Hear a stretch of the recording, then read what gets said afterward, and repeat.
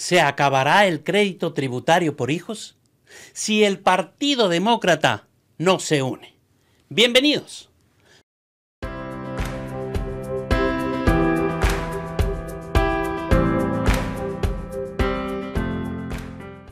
Como sabemos, este 15 de julio comienzan los padres a recibir el depósito del crédito tributario por hijos, en donde alrededor de 36 millones de familias recibirán esta ayuda.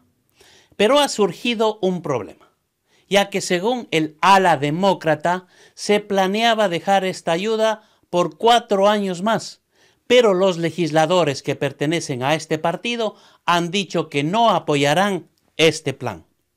Esto quiere decir que no se podrán extender esta ayuda y solo se quedarían los pagos para este 2021.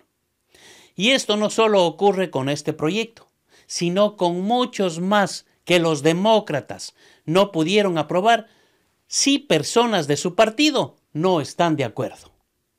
Según la ley, se requiere utilizar del 50-50. Absolutamente todos los demócratas deberían votar a favor para que no se necesite ningún voto del Partido Republicano y se pueda aprobar varios proyectos.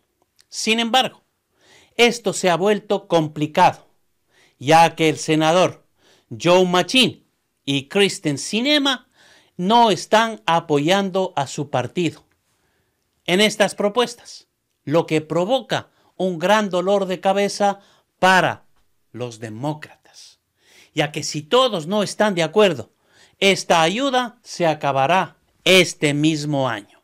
Solamente se convertirá en una probadita.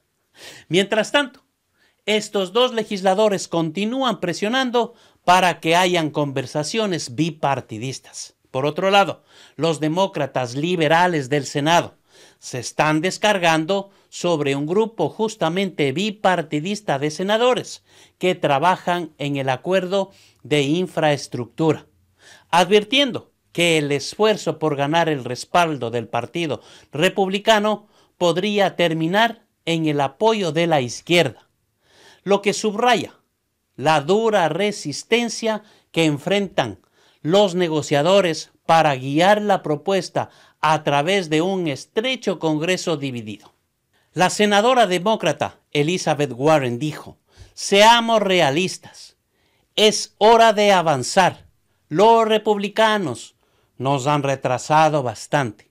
Por su parte, el senador Richard Blumenthal expresó que no tiene confianza en que este grupo bipartidista llegue a un acuerdo y dijo, que deberían tener su propio tiempo limitado para hacerlo. Pero señaló que realmente se debería desconectar estas conversaciones y actuar de manera rápida y firme. Al igual que se deberían preocupar por el tiempo que se pierde. La reprimenda pública está ocurriendo incluso cuando los líderes demócratas de la Casa Blanca y el Senado ya están dando tiempo a los negociadores de ambos partidos para ver si pueden llegar a un acuerdo que se pueda ser aprobado por el Congreso, con un grupo bipartidista de 10 senadores. En particular, los demócratas están expresando su preocupación sobre cómo se pagará el paquete ya que los senadores republicanos dicen que no habrá aumentos de impuestos y los demócratas han exigido nuevos impuestos a las corporaciones y a las personas de altos ingresos para pagar el plan. Pero el grupo bipartidista, en cambio, está buscando redirigir el dinero de la ayuda del COVID-19 ya promulgado y mientras aumenta el impuesto a la gasolina sujeto a la inflación, ideas a las que varios demócratas se oponen rotundamente.